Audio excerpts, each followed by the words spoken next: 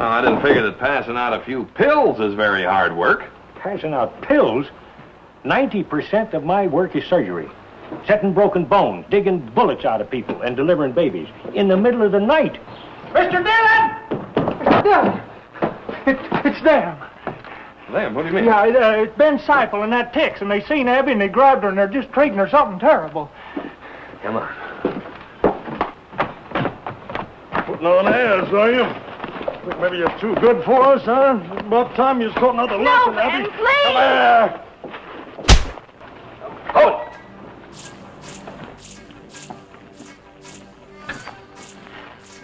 Ah, so you really are Marshal. Abby, you want to go with him or do you want to stay here and die?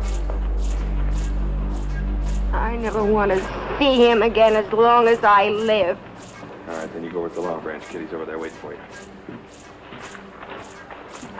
Say, what do you think you're doing? This ain't no business of the law, mister. You broke a promise I made to her, Seipel. I told her nobody'd ever hit her again. You Planning to interfere with a man's natural rights? I want to teach you a lesson.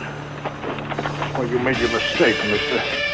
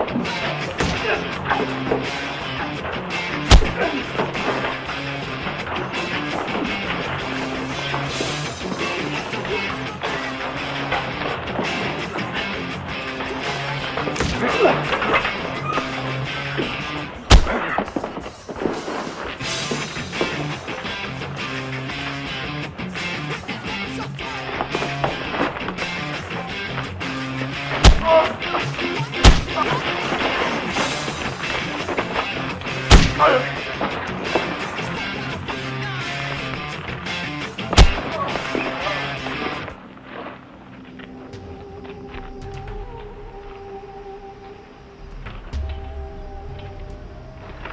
You get him on that wagon and get him out of town.